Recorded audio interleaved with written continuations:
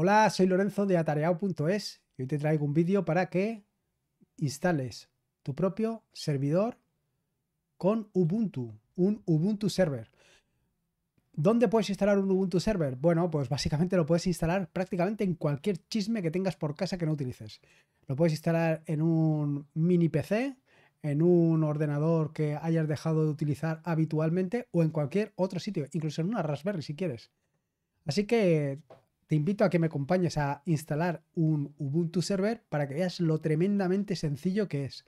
En mi caso, en mi caso particular, lo voy a instalar en una máquina virtual para que, bueno, pues para que en próximos episodios, en próximos capítulos, en próximos vídeos, eh, podamos hacer distintas cosas, como por ejemplo instalar Docker, levantar distintos servicios directamente en este Ubuntu server y hacer distintas operaciones, operaciones que seguro te resultarán tremendamente interesantes. Así que no me enrollo nada más, vamos a lanzar la instalación. A ver, aquí yo por aquí tengo mi imagen preparada que se llamará, sin lugar a dudas, Ubuntu. A ver si la encontramos. Descargas. Si no busco en descargas es difícil. Aquí está. Live Server AMD 64. La vamos a lanzar. Vamos a poner Linux. Bueno, voy a poner Ubuntu para que se haga una idea de que es un Ubuntu, aunque no va a ser esa versión. Pero bueno, Ubuntu 20.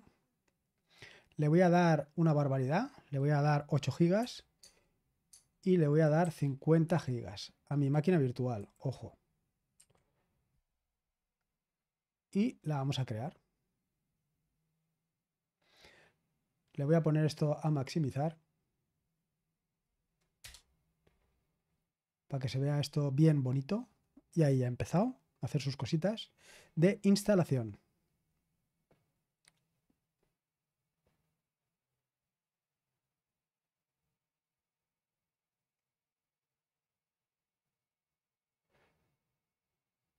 Fíjate. Decirte que en esta máquina virtual, bueno, voy a seleccionar el idioma, que es el español. Dice que hay una nueva versión del, eh, del instalador. Le vamos a decir que la actualice. Decirte que, como te estaba comentando, que esta versión de Ubuntu, de Ubuntu Server, viene con Snap.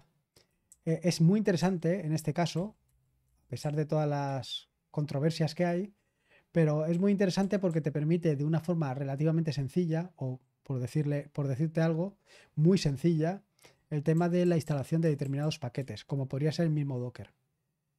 Eh, aquí se selecciona la disposición del, teclado, que es en español, variante español. No le voy a decir que identifique el teclado, que me da lo mismo. Y le damos a hecho.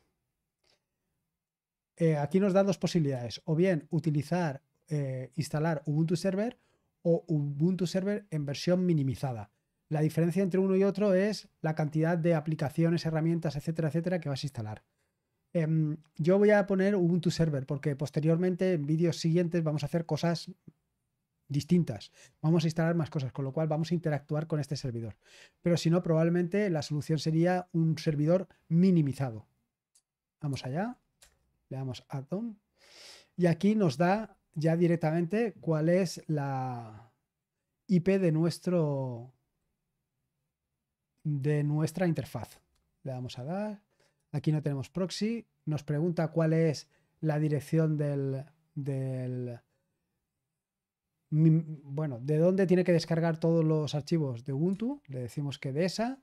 Configuramos esto, lo vamos a dejar tal y como está que es que utilice el disco entero, que al final es un disco de 50 gigas, que utilice LVM, etcétera, etcétera. Esto es más o menos lo mismo que hemos visto hasta ahora, pero en resumen, yo no me voy a calentar la cabeza, le voy a decir que hecho y ahora le digo que continúe. Mi nombre, Lorenzo, eh, le vamos a decir userver, de Ubuntu Server, nombre de usuario, Lorenzo, la contraseña, vamos a poner 1, 2, 3, 4, 5, 6, 7 y 8, 1, 2, 3, 4, 5, 6, 7 8. Evidentemente esta contraseña, pues como que no. Esto es importante. Aquí nos permite instalar OpenSSH para acceder. Yo lo voy a poner que sí porque es el método o el medio que utilizo habitualmente para comunicarme con cualquier servidor, ya sea una Raspberry, ya sea un VPS o ya sea un servidor físico. Así que le damos que instalar. No voy a importar la, em, el, eh, SSH, pero lo importaré posteriormente. Eso ya te lo enseñaré en un próximo vídeo para que veas la diferencia que hay entre hacer una instalación directamente, hacer una instalación, o sea, perdón, hacer un acceso directo vía contraseña, usuario y contraseña, frente a hacer un acceso con clave público-privada. La clave público-privada es una ventaja indudable. Le decimos que don. Aquí nos dice todo lo que podemos instalar. Todo esto son snaps que, como te decía yo antes, pues son fantásticos porque ya lo tienes preparado. Aquí lo único que tienes que hacer es seleccionar los snaps que quieras y directamente lo tendrías. Podrías tener un Kubernetes, podrías tener un Nextcloud, pero simplemente marcándolo. En un próximo vídeo seguro que lo haremos y para que veas lo sencillo. Puedes instalar PowerShell, puedes instalar em, un Postgre, en fin, tienes aquí todo tipo de herramientas para instalar. Le vamos a decir que don y ahora ya empieza a realizar la instalación. Esto tarda un poquito, pero bueno, es relativamente rápido. Quizá tendría que haber elegido la minimizada, pero bueno, no, hay que preocuparse. Ya te digo que en el siguiente vídeo lo que te mostraré es cómo puedes generar tus claves público-privada para acceder vía SSH a tu servidor.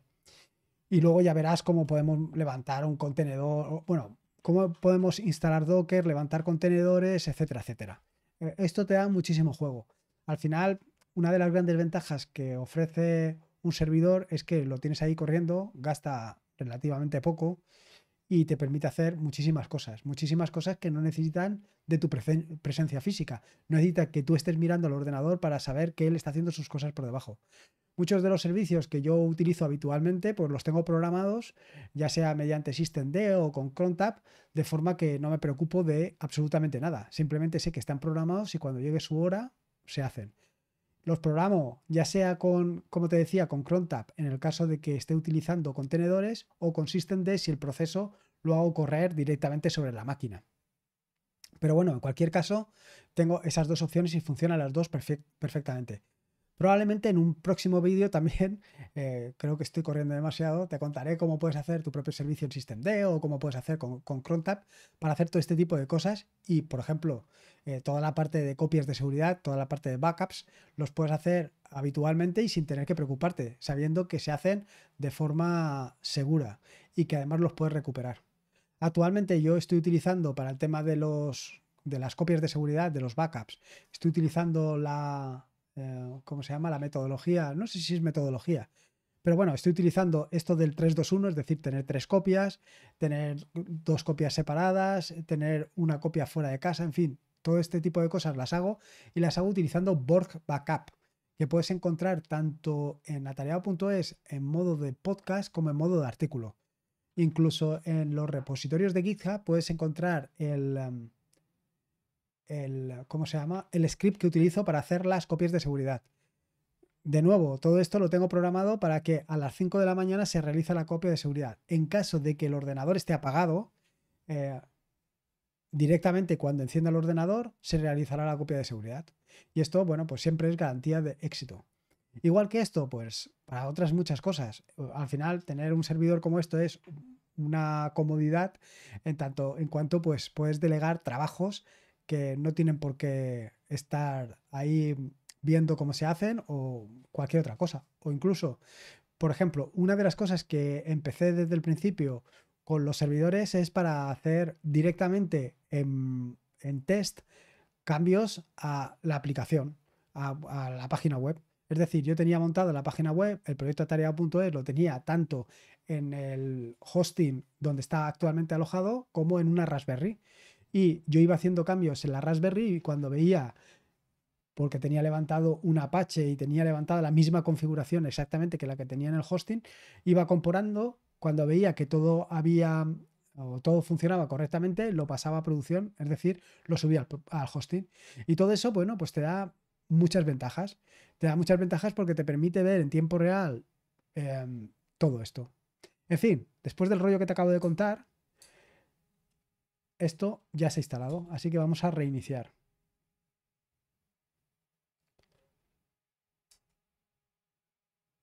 Vale, pues este ya he reiniciado. Se supone que es este.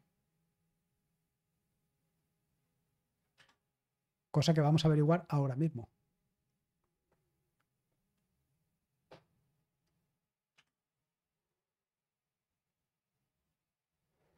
Ya le queda poquito.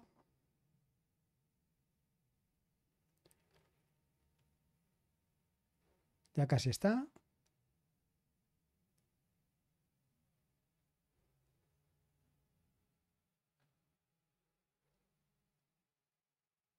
Lo que voy a hacer aquí es abrirme otra ventana más. A ver. Eso es. Ahora esta se ve un poquito peor, pero me he abierto esta ventana porque ahora lo que vamos a hacer... Vale, el, servidor se supone que ya está levantado. Entonces, voy a entrar, que era Lorenzo.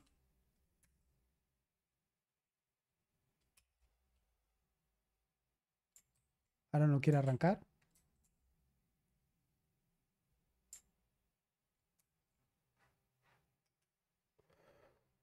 Lorenzo.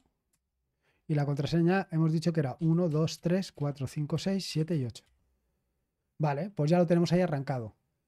Actualmente está consumiendo un 4% de memoria y un 28% de 24 gigas. ¿Vale?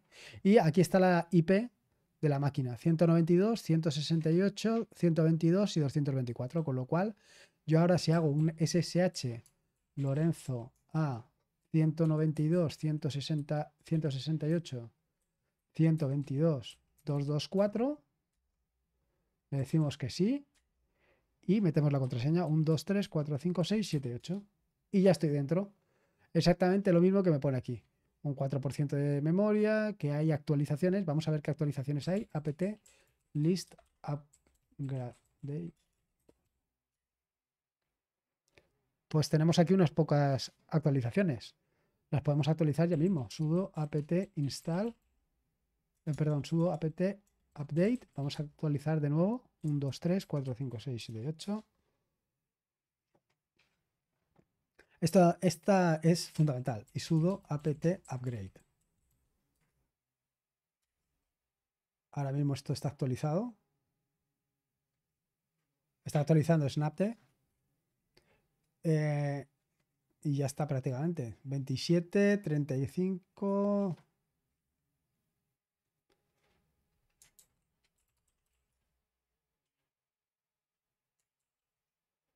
Ya está. Ya lo tenemos además actualizado. Así que en el próximo vídeo pues te mostraré cómo puedes configurar tus claves público-privada para en lugar de cada vez que tienes que acceder a la máquina tengas que introducirla. Simplemente con esas claves público-privada vas a poder acceder muy fácilmente. Y nada más, esto es todo lo que te quería enseñar. Así que nada, nos vemos en un siguiente vídeo. Espero que te sea de utilidad. Venga, hasta luego.